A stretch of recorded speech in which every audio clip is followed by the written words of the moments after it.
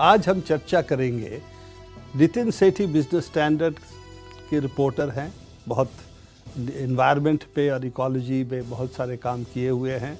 कुमार संभव जो कि लैंड कॉन्फ्लिक्ट फोरम में हैं और बिज़नेस स्टैंडर्ड के साथ भी जुड़े हुए हैं। आप लोगों ने अभी लिखा है जो अरावली हिल्स फरीदाबाद गुड़गांव के बीच में जो ज़मीन है उस पर करीब 400 एकड़ एक हिसाब से बेनाम बेनामी ओनरशिप हो गया है इस वक्त पातंजलि का। जी। तो इससे आपको क्या लगता है कि कोई कानूनी प्रॉब्लम रहा है या कुछ और इसमें मकसद है? आ, मेरे ख्याल से दो तीन पेज हैं इसमें। एक आ, सुप्रीम कोर्ट ने 2011 या 12 में कहा था कि ये इस किस्म की ज़मीनें इनको गैर मुमकिन पहाड़ बोलते हैं हरियाणा में। बेसिकली ऐसी जगहें जो पहाड़ी हैं जहाँ पे खेती नहीं अलाउड है कुछ और कमर्शियल एक्टिविटी नहीं करनी चाहिए। अरावली का हिस्सा है। और अरावली को फ्रेजाइल इकोसिस्टम हाँ। बहुत पहले से घोषित कर दिल्ली का लंग्स बोलते हैं लोग बोलते हैं ये ना हो तो ना पानी होगा ना हवा होगी दिल्ली और एनसीआर में। तो 2011 में सुप्रीम कोर्ट ने बोला कि ऐसी ज़मीनें जो हरियाणा की हैं ये पंचायतों के पास जानी चाहिए किसी और का हक नहीं है इन पर और ये कॉमन्स की तरह रहनी चाहिए। ये 2011 में ऑर्डर आया। उस समय भी रियल एस्टेट का आसपास दबाव था। फरीदाबाद गुड़गांव में लोग खरीदने की कोशिश कर रहे थे। तो गाँव वालों ने बोला कि ज़मीन के लिए केस डाला कि ये सारी ज़मीनें बहुत सालों से ऐसी गलती से बिक रही हैं या फ्रॉड में बिक रही हैं इनको वापस पंचायत में दिया जाए। So, पंचायत की तरफ़ से पहल कदमी हाँ सरकार के कहने पे ही। सरकार उस टाइम 2011 में अफसरों ने बोला कि आप वापस लीजिए अपनी ज़मीन। तो गाँव ने जैसे लॉ में है प्रोवाइड किया हुआ है कि केस डाला और बोला कि ज़मीन वापस हमें दीजिए सारी। तो और काफ़ी बड़ा दो, दो तिहाई से ज़्यादा गाँव का हिस्सा जो इस किस्म की ज़मीन का है। उतने में जब तक ये केस चलता कोर्ट्स में पहुँचा लोकल कोर्ट में हल्के हल्के खिंचता रहा तब अचानक पता चला कि जिनके अगेंस्ट इन्होंने केस डाला था कई हज़ार लोग थे तब तक बहुत लोग खरीद भी चुके थे।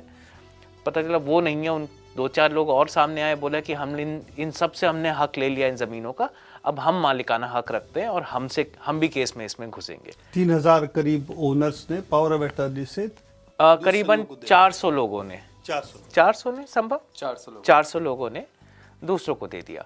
और जब हम लोग जब पहुँचे एक, एक तरीके से कहानी के मोड़ पे तो देख हमने वो कागज़ देखे कि जो इन तीन चार लोगों ने डाले थे कि बोलते कि हम खड़े हैं आगे इन चार सौ लोगों के बिहार पे। तो हमें दिखा कि ये तीन चार लोग अपने लिए नहीं खड़े थे। ये किसी और के लिए खड़े थे। और कागज़ टटोलते टटोलते जब हम पहुँचे तो समझ आया कि ये चार लोग एक तरीके से रियल एस्टेट डीलर्स थे जो पतंजलि ग्रुप के लिए काम कर रहे थे। तो फ्रंट थे सिर्फ़ फ्रंट थे और बहुत कॉम्प्लेक्स एक कॉरपोरेट मैकेनिज्म और वेब बनाया हुआ था कंपनीज़ का private sector firms partnership firms अलग अलग तरीके से पैसा रूट करके ये चार पाँच लोग जो थे पतंजलि ग्रुप के बिहाफ पे कंपनी खरीद रहे थे। कुछ उन्होंने अपने ही नाम पे रखी हुई थी, कुछ कंपनी के नाम पे ट्रांसफ़र हो गई थी। पर ये सब पावर ऑफ़ अटॉर्नी के था। संभव समझाएँगे कि कैसे ये पावर ऑफ़ अटॉर्नी के बेसिस पे क्यों हो रहा था? नॉर्मली तो ज़मीन खरीदी तो आप ले, खरीद कर आप रजिस्ट्री कराते हैं, फिर उसे म्यूटेशन होता है जिसे कहते हैं। पर यहाँ पर ये सब नहीं हो रहा था। तो करीब इस वक्त आपके छानबीन से 400 एकड़ ज़मीन ऐसा है जो कि पातंजलि ग्रुप के पास इस वक्त है। इस पर बाद में बात चर्चा करेंगे कि इस 400 एकड़ का मकसद क्या है, क्योंकि एक स्ट्रेटिजिक जगह पे तो है गुड़गांव फरीदाबाद रोड पे जो अब हाईवे बनने वाली है एट लेन हाईवे आपने लिखा है, बनने वाली है। तो ये और दिल्ली और गुड़गांव फरीदाबाद तीनों के बहुत करीब का ज़मीन है। तो इसकी एक अलग अहमियत हो सकती है, एक कॉमन से अगर प्राइवेट हो जाती है। तो बताएँगे कि ये पावर ऑफ़ अटर्नी वगैरह का खेल क्या है इसमें? तो वही जो नितिन बोल रहे थे कि वो 2011 का एक सुप्रीम कोर्ट का ऑर्डर था। वो सुप्रीम कोर्ट का ऑर्डर एक हरियाणा के स्टेट लॉ के ऊपर था। तो जो कि लॉ बोलता है कि जो कॉमन लैंड्स हैं वो पंचायत और लोगों के कॉमन यूज़ के लिए हैं। उसमें किसी का भी व्यक्तिगत मालिकाना मालिकाना हक नहीं होगा। तो होता ये है कि जैसे गाँव का प्राइवेट लैंड मान लीजिए सौ एकड़ है और बाकी 300 एकड़, उसका तीन गुना कॉमन लैंड है तो हर व्यक्ति को उसी रेशियो में उसका एक नॉमिनल शेयर हर व्यक्ति का उसमें होता है कॉमन लैंड में। आपको पता नहीं है कि कहाँ है, एक नॉमिनल शेयर है कि मेरा अगर एक एकड़ है तो चार, तीन एकड़ मेरा कॉमन लैंड में शेयर होगा। तो उसको लोगों को ऐसा जब रियल एस्टेट का बूम होता है तो उन्होंने बोला कि आपने खरीद लिए वही नॉमिनल शेयर तो ऐसे डीलर्स जा जाके और उनको बोल के कि आपका कोई वहाँ पे शेयर है, आप हमें क्यों नहीं बेच देते? तो किसी को पता नहीं है कि लैंड किसका है और कहाँ है। बस एक भविष्य में कि कभी ये प्राइवेटाइज हो जाएगा इस उम्मीद के साथ और उसका फिर हमको पूरा हिस्सा मिल जाएगा प्राइवेटाइज होने से इसका प्राइस भी बढ़ जाएगा। तो बड़े सस्ते प्राइस में गाँव वालों से खरीद लेते हैं। गाँव वाले भी ये सोच के कि हमें तो पता ही नहीं है क्या है इतना मिल रहा है तो उसमें वो तो बहकावे में आ जाते हैं। नॉमिनल शेयर को बेचने का प्रक्रिया शुरू। प्रक्रिया शुरू हो गया लेकिन क्योंकि लॉ में अलाउ नहीं है उसका सेल और प्राइवेटाइजेशन अलाउ नहीं है तो सेल रजिस्टर नहीं हो सकती। उसके फिर हरियाणा सरकार ने ऑर्डर भी निकाले थे कि ऐसा यहाँ पे कोई भी रजिस्टर नहीं होगा बिना पंचायत की अनुमति के और बिना अधिकार सरकार की अनुमति के कोई भी सेल रजिस्टर नहीं हो सकती। तो फिर भी ये प्रक्रिया चालू रखने के लिए कि लैंड को ग्रैब करते रहें उन्होंने ये पावर ऑफ़ अटॉर्नी का ज़रिया बनाया जिसमें आप खरीद नहीं रहे हो फिर भी उस अपने सारे हक जो है उनके आप वो पावर ऑफ़ अटॉर्नी साइन कर पावर ऑफ़ अटॉर्नी जो है आप अलग अलग देश के हिस्सों में रजिस्टर करवा रहे हो। हरियाणा और दिल्ली छोड़ के कोई कलकत्ता में हो रही है कोई नोएडा में हो रही है क्योंकि आप हरियाणा में ये नहीं कर सकते और दिल्ली में तो बैंड ही है पावर ऑफ़ अटॉर्नी से कराना। वो इरिवोकेबल पावर ऑफ़ अटॉर्नी से करते हैं हालाँकि कोई चीज़ पावर ऑफ़ अटॉर्नी इरिवोकेबल होता नहीं है। और हकीकत तो ये है कि ये सिर्फ़ कानूनी एक पेच है बाईपास करने के लिए लॉ जो है कि आप ज़मीन को एलिनेट नहीं कर सकते। किसी और के हाथ पे ट्रांसफ़र नहीं कर सकता। ख़ास तौर से जब एक कॉमन लैंड है जिस पे आपका सिर्फ़ हिस्सा है पर आपका मालिकाना नहीं है। और उसमें पावर ऑफ़ अटॉर्नी में वो लैंग्वेज भी बड़ा क्लियर होता है कि मेरी तरफ़ से आप इसकी सारा कमर्शियल ट्रांजेक्शन इस लैंड पे आपका रहेगा। इसको बेचना चाहें तो बेच सकते हैं। जो भी इस पे करना चाहें आप कर सकते हैं। तो इस तरह से वो उसमें वो दे देते हैं। पावर ऑफ़ अटर्नी भी बेच सकते हो। हाँ। दिल्ली में तो आपको याद होगा ये बहुत बड़ा पहले यही खेल हाँ। था। कि पावर ऑफ़ अटर्नी म्यूटेशन की उस तरह की चीज़ थी नहीं। हाँ। तो पावर ऑफ़ अटर्नी से ही लोग बेचा बेचा के ना करते। तो इसमें हमने ये पाया कि जब हम ये पावर ऑफ़ अटर्नी डॉक्यूमेंट्स थोड़ा टटोलने लगे ध्यान से कि पावर ऑफ़ अटर्नी जैसे एक व्यक्ति हैं प्रवीण कुमार शर्मा जिनका नाम हमने कहानी में लिया भी है तो वो पावर ऑफ़ टर्नी साइन कर रहे हैं। लेकिन कई कई जगह नाम मेंशन आता था कि वो जो है एक ऑथराइज रिप्रेजेंटेटिव हैं इस एक्स या वाई कंपनी के। तो हम फिर उस एक्स और वाई कंपनी को टोटलने लगे तो वो क्या है? तो ढूंढा कि वो कंपनियाँ जो हैं पिछले साल तक या सन सोलह सत्रह तक कम से कम पतंजलि ग्रुप की थी। फिर वो पतंजलि ग्रुप से बेच के आचार्य बालकृष्णन की हो गई। फिर वहाँ से देखा कि कंपनी में एक्चुअली कुछ काम नहीं हो रहा है। कंपनी तो ज़ीरो रेवेन्यू ज़ीरो रेवेन्यू कंपनियाँ हैं और लेकिन उसके थ्रू कैश ट्रांजैक्शन हो रहे हैं या मनी ट्रांजैक्शन हो रहे हैं एडवांसेस लिए जा रहे हैं दिए जा रहे हैं और बहुत सारे ट्रांजैक्शन जो है ज़मीनों के लिए हो रहे हैं। और टटोलते टटोलते हमने देखा कि फिर कोर्ट का नाम भी आने लग गया कि अच्छा कोर्ट में ही ज़मीनें खरीदी जा रही हैं जो गाँव है। उसी गाँव में ज़मीनें खरीदी जा रही हैं एडवांसेस दिए जा रही हैं। तो वहाँ से जब हमने शुरू किया तो कुछ नाम वहाँ मिले फिर हम और महीना भर लगा लेकिन और दस बारह कंपनियाँ हमने पतंजलि ग्रुप की ऐसी ढूंढी जो ज़ीरो रेवेन्यू कंपनीज़ हैं। एक एक करके उसको थोड़ा उधेड़ना शुरू किया। तो इतना बड़ा निकल आया कि हम लोग भी शुरू में लगा नहीं था कि इतनी बड़ा कुछ हो रहा है गाँव में। लोग गाँव में बोल रहे थे बहुत कि यहाँ बहुत ज़मीन ले लिए, लेकिन गाँव में आप जाएँ तो लोग बोलते हैं, जो आप सुनना चाहते कई बार बोल देते हैं। तो हमें भी विश्वास नहीं था। जब कागज़ देखे हम दोनों ने, तब लगा कि हाँ यार, ये तो सच में मतलब जितनी कंपनियाँ हम खोल पाए एक महीने में, सब में कुछ दिख रहा था। तो मुमकिन है कि हमने सारी कंपनियाँ भी जानते भी नहीं। अगर संभव आई थिंक कर रहे थे, जब रिसर्च तो देखा कि ऑर्डर्स थे, एक टाइम दो बार ऑर्डर दिए गए थे ऑफिशियल्स ने बोला कि आप इन्वेस्टिगेट करिए कि यहाँ पे ब्लैक मनी की इन्वेस्टमेंट हुई है कंपनीज़ द्वारा। और ये इन्वेस्टिगेशन से ही पता चलेगा किसने कितनी ज़मीन ले ली है।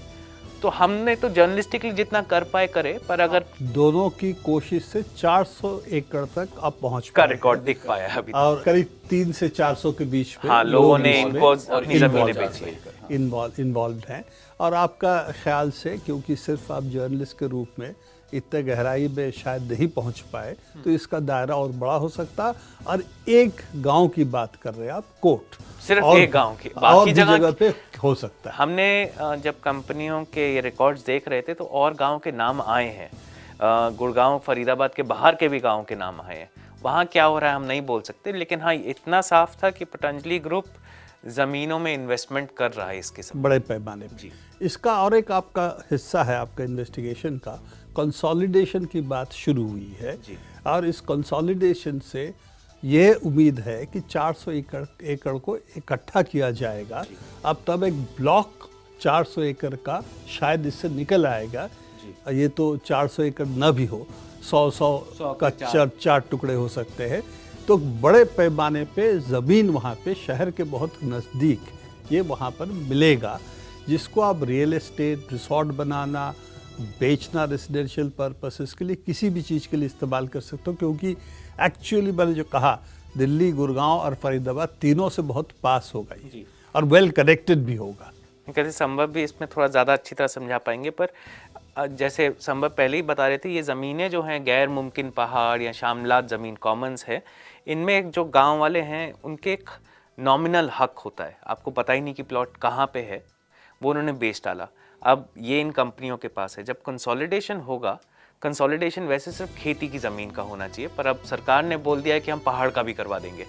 तो जब कंसोलिडेशन होगा तो एक तो आपको जो पता ही नहीं था आपके पास ज़मीन का है, वो ज़मीन दिख जाएगी, और वो ज़मीन एक पार्सल में बंडल होके मिल जाएगी। दूसरा कंसोलिडेशन से फ़ायदा ये होगा कि जो सड़क है ही नहीं वहाँ तक आने की, सरकार वो सड़क भी काट के आपको दे देगी पहाड़ के थ्रू क्या आइए आप सड़क से यहाँ तक पहुँचिएगा तो इन्वेस्टमेंट की कॉस्ट पड़ जाती है, आपकी अच्छी ज़मीन अच्छी लगती है क्योंकि आप चार लेन हाईवे भी बनवा सकते हैं वहाँ तक। तो तीन चार चीज़ें कंसोलिडेशन कर रहा है जिससे उन लैंड्स जो कोई लैंड डिमार्केटेड ही नहीं थी, एक तो डिमार्केट हो जाएगी, एक एक्सेस मिल जाएगा और पार्सल कंसोलिडेट या एक पूरा बड़ा पार्सल मिल जाएगा, जिस पे आप डेवलपमेंट अच्छी तरह करा सकते हैं या रिजॉर्ट बनाना है तो रिजॉर्ट बना सकते हैं। और जैसे गाँव वाले और कई जो केस वहाँ पे एक्सपर्ट है, वो भी बोल रहे थे कि ज़्यादा पावरफुल फोर्स होती हैं कंसोलिडेशन में तो ऐसा मुमकिन करवा पाती है कि उनके पार्सल हमेशा हाईवे के आसपास ही हो। या अच्छी जगहों पे मिले। पानी पास पानी हो, हो। बट एक अलग इस पे ये बात आती है कि लैंड यूज़ अरावली में वैसे इस तरह करने का कोई संभावना है क्या? कानूनन तौर पे आप क्योंकि इस विषय पे आप काम किए हैं। कानूनन तौर पे इस वक्त अरावली को इस तरह का कमर्शियल एक्सप्लॉयटेशन हो सकता है क्या? वो अरावली में दो तीन लेयर की प्रोटेक्शन है और उसको जानबूझ के इनमें से बहुत सारे लीगल प्रोटेक्शंस को पॉलिसी को काफ़ी वेग रखा गया है अभी तक। तो एक कमज़ोर भी किया कमज़ोर भी किया गया है ओवर द इयर्स उसमें ये हुआ है। तो एक तो आ, एक तो सुप्रीम कोर्ट का उन्नीस सौ छियानवे का एक ऑर्डर है कि जहाँ पर लीगली फॉरेस्ट आपके कागज़ों में लीगल उसको डिफाइन नहीं किया गया है लेकिन फिर भी वो अगर डिक्शनरी मीनिंग के हिसाब से फॉरेस्ट है तो उसमें मोस्टली हिली फॉरेस्ट और वेजिटेशन ग्रीन वेजिटेशन अरावली के हैं उन सबको राज्य सरकारों को लीगल फॉरेस्ट के रूप में आइडेंटिफाई करना है। ये एक ऑर्डर है सुप्रीम कोर्ट का। इस पर अभी तक प्रक्रिया सब चल रही है और इस पर डिली डिलेइंग हो रही है तो हरियाणा ने अभी तक नहीं किया है। सो so, पर्यावरण मंत्रालय ने बहुत सारी चिट्ठियाँ लिखी हैं हरियाणा सरकार को कि आप क्यों नहीं कर रहे इसको करो एनजीटी ने भी बोला है। तो हरियाणा गवर्नमेंट उस पर काफ़ी लटकाया हुआ है प्रोसेस तो जो भी अरावली की हिल्स हैं अगर वो प्रोसेस किया जाता तो ये सब लीगल फॉरेस्ट हो जाते फिर उसमें कोई भी आप प्रक्रिया नहीं कर सकते हो। दूसरा तो ये उन्होंने नहीं किया अभी तक। दूसरा एक पर अभी भी इसको अगर किया जाए किया तो फॉरेस्ट डिक्लेयर हो होना है। होना है हाँ ये। तो ये मतलब हम लोग ने अब देखा और काफ़ी साफ़ दिखता है कि इसमें बड़े बड़े इलाके आपके जंगल डिक्लेयर हो जाएँगे। वहाँ पे कमर्शियल एक्टिविटी ऐसे अपने आप नहीं आप कर पाएँगे। फिर फॉरेस्ट कंजर्वेशन एक्ट लगेगा। उसमें सुप्रीम कोर्ट का एक सुपरविजन रहता है एक कमेटी है तो देखती है। तो एक ये है दो ऐसी किस्म की और लेयर्स हैं प्रोटेक्शन की जो इन्वायरमेंटल रीज़न से हैं जो सरकार नहीं लगने दे रही है। जैसे एक आ, हमने देखा कि एक सेंट्रल गवर्नमेंट ने एक चिट्ठी लिखी कि आप अरावली एक नोटिफिकेशन है पुराना कि अरावली एरिया प्रोटेक्ट हो तो अरावली बचाइए। तो हरियाणा सरकार ने लिखा हाँ लेकिन आपका नोटिफिकेशन गुड़गांव के लिए तो हम फरीदाबाद में लगाएँगे नहीं। तो एक तरीके से बोल दिया कि फरीदाबाद में हमारे पास अरावली है ही नहीं। अब उसी पे मुहिम चल रही है। अगर अरावली है भी तो हाँ। कलम के कागज़ पे नहीं है। कागज़ पे हमने उसको कह सकते हाँ, नहीं है। रबर से हमने डिलीट कर दिया है। तो अब आप जब है ही नहीं तो बचाएँ क्या? और एक और अभी भी मतलब हाल ही में एक बहुत ही इंटरेस्टिंग इन्होंने सरकार ने एक और कदम उठाया था। एक पंजाब लैंड प्रिजर्वेशन एक्ट है हरियाणा का। बहुत पुराना है। उन हाँ तो उसमें ये है कि आ, बहुत सारे जो अरावली के सेंसिटिव एरियाज़ हैं उनको इसके अंदर प्रोटेक्शन दिया गया है कि आप उसमें कुछ नहीं कर सकते। फिर सुप्रीम कोर्ट के एक ऑर्डर के बाद वो सारे लीगली फॉरेस्ट हैं उस आ, उसके अंदर। तो अभी इन्होंने जनवरी में एक अमेंडमेंट लाने की कोशिश करी थी हरियाणा सरकार ने। और असेंबली में पास भी कर दिया था कि जहाँ जहाँ पर भी डेवलपमेंट प्लान हमारे आ रहे हैं, उसमें ये P L P A Punjab land preservation act नहीं लगेगा। तो वहाँ वहाँ जो जो अरावली है, वो सब इससे उसका प्रोटेक्शन हट जाएगा। और ये कोर्ट में जितना भी अच्छा खासा लैंड है, जो कॉमन लैंड है, जो पी एल पी के अंदर आता है, उससे ये प्रोटेक्शन हट जाता और उसमें परमिशन सारी मिल जाती। दो दिन बाद सुप्रीम कोर्ट ने हालाँकि सुमोटो लेके उसको स्टे करा दिया तो वो रुक गया है। लेकिन इस तरह की इन्होंने काफ़ी कोशिशें सरकार ने पहले करी हैं ये प्रोटेक्शन हटाने की अरावली से।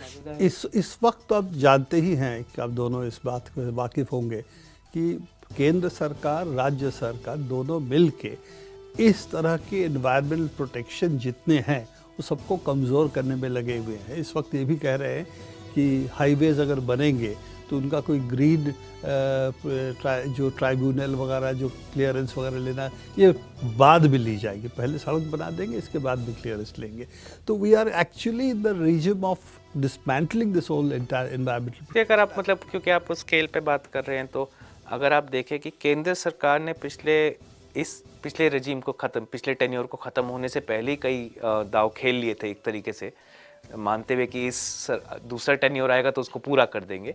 तो उसमें इन्होंने चार या तीन चीज़ें बदलने की प्रयास किया। एक इन्वायरमेंट क्लियरेंस कैसे होगा? उसमें पब्लिक हेयरिंग कम हो जाए या पब्लिक हेयरिंग का रोल कम हो जाए, वो अमेंडमेंट ले आए। इंडियन फॉरेस्ट एक्ट जिसके तहत कम्युनिटीज़ का थोड़ा कंट्रोल था मतलब वो भी अंग्रेज़ों के ज़माने का लॉ है, उससे बदतर लॉ लेके आ गए हैं। फॉरेस्ट राइट्स एक्ट के डाइल्यूशन लेके आ गए हैं। हम सुनते हैं, अभी तक पक्का नहीं है, पर सुनते हैं कि वाइल्ड लाइफ प्रोटेक्शन एक्ट जो था, उसके भी अमेंडमेंट ला रहे हैं। तो एक आपका कहना सही है कि ओवरऑल एक रिजीम है जो ईज़ ऑफ़ डूइंग बिज़नेस के नाम पे आप इन्वायरमेंटल इंटेग्रिटी थोड़ी सी और कमज़ोर कर रहे हैं।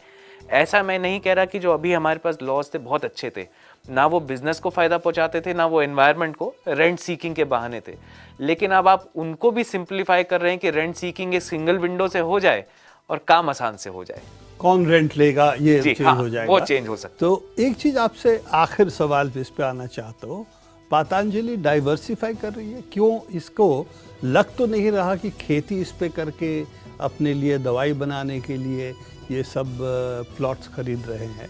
तो इनका क्योंकि उसके लिए 400 एकड़ खरीदने की ज़रूरत नहीं पड़ता वो तो आप कॉन्ट्रैक्ट फ़ार्मिंग से ही करा सकते हो। तो ये मालिकाना अगर लेना है तो उसके पीछे और कुछ मकसद हो सकता है कमर्शियल मकसद हो। What is the long term business model क्या बिज़नेस मॉडल में वो और कुछ करना चाहते हैं? Um, मेरे ख्याल से वो डाइवर्सिफाई कर चुके हैं। हम लोग की निगाह नहीं पड़ी या हमने जिनकी पढ़ी उन्होंने ज़्यादा बोला नहीं इस बारे में। पर जब हम ये टटोलने लगे सिर्फ़ एक कोर्ट का केस तो हम दोनों ने देखा जब कंपनी के रिकॉर्ड्स देख रहे थे लोगों से बात कर रहे थे कि ऐसा काम बाकी और कई जगहों पे पतंजलि कर चुका है। तो देहरादून के आसपास की ज़मीनें कल ही मुझे किसी ने बताया, असम में भी ऐसी ज़मीनें पकड़ ली गई हैं, सरकारी ज़मीन ले, दे रही है सस्ते में। तो मेरे ख्याल से पतंजलि ग्रुप बहुत डाइवर्सिफाई कर चुका है और ज़मीन में कीन इंटरेस्ट रखता है। उस ज़मीन को वो कैसे देखता है और कब चेंज करवा सकता है लैंड यूज़ उसमें क्या कर सकता है, वो देखने की बात है और नज़र रखने की बात है। इस केस में साफ़ हमें दिखता है कि ये एक रियल इस्टेट गेम है। ये कोई ऑर्गेनिक फ़ूड उगाने का नहीं दिखता क्योंकि ऑर्गेनिक फ़ूड ऐसी जगह पे आप नहीं उगाएँगे जहाँ पानी नहीं मिल रहा बंजर पहाड़ में तो नहीं करेंगे या ड्राई पहाड़ में नहीं करेंगे। ज़मीन ये ऐसी हैं जो क्लियरली रियल एस्टेट के लिए आप देख रहे हैं। बिल्कुल। तो मेरे ख्याल से डाइवर्सिफिकेशन पतंजलि ग्रुप का है और कहाँ उसका वेब है और कहाँ कहाँ क्या क्या इंटरेस्ट हैं। अगर आप उनकी मेन बैलेंस शीट दो तीन साल की देखना शुरू करें तो आप पाते हैं कि वो बहुत चीज़ों में हाथ डाल चुके हैं। वो सिक्योरिटी एजेंसी भी चलाना चाहते हैं, वो जीन्स भी बेचने का कोशिश कर रहे हैं। असली पैसा कहाँ से आता है, कैसे आता है, इसकी स्क्रूटनी अभी भी नहीं हुई है। और जो एक खबर हम पढ़ रहे थे, अगर वो सच है तो ये और मुश्किल हो जाएगी कि पतंजलि ग्रुप ने बीच में बोला था कि वो कंपनी से हट के एक ट्रस्ट मॉडल में जाना चाह रहे हैं। तो हमें पता है कि इस देश में जो ट्रस्ट बेस्ड सिस्टम्स हैं, उनके रिकॉर्ड्स की स्क्रूटनी और भी कम होती है। तो किस तरफ़ वो एक्चुअली ग्रुप जाना चाह रहा है और क्या कर रहा है उनका पैसा कहाँ से कैसे जाता है मेरे ख्याल से हमने सिर्फ़ एक टिप देखा है। आम, सरकार कर सकती है असली में। पत्रकार बिज़नेस स्टैंडर्ड मतलब हम लोग शुक्रगुजार है कि इतना एक महीना कम से कम हमें लगे रहने दिया कि इतना कर पाए। बट अगर सच में समझना चाह रहे हैं कि जाल क्या है तो बहुत मेहनत चाहिए। धन्यवाद नितिन कुमार हमारे साथ होने के लिए। ख्वाहिश यही है कि आप इस तरह की इन्वेस्टिगेशन करते रहे और हमारे दर्शकों को बताएँ कि आप क्या कर रहे हो और उसकी जाल कितनी दूर है। पतन पातंजलि की इस इन्वेस्टिगेशन के लिए आपको धन्यवाद। आज के लिए इतना ही। देखते रहिएगा न्यूज़ क्लिक।